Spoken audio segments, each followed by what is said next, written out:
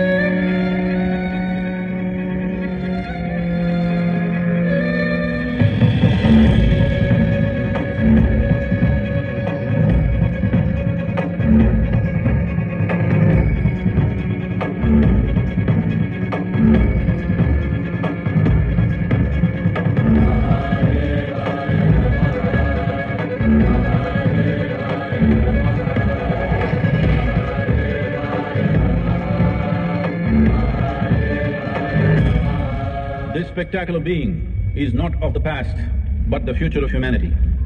To move humanity from hallucinations of ups and downs to nameless ecstasies of one's interiority.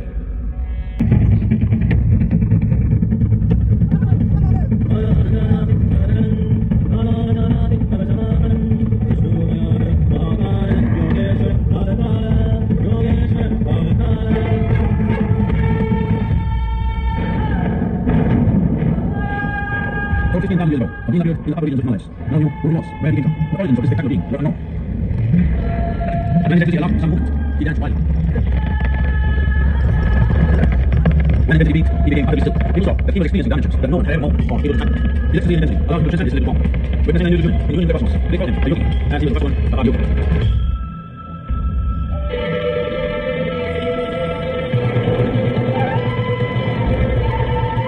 When his feelings lasted for years on end, 我们先记录，这里，还是你们拍的，对不对？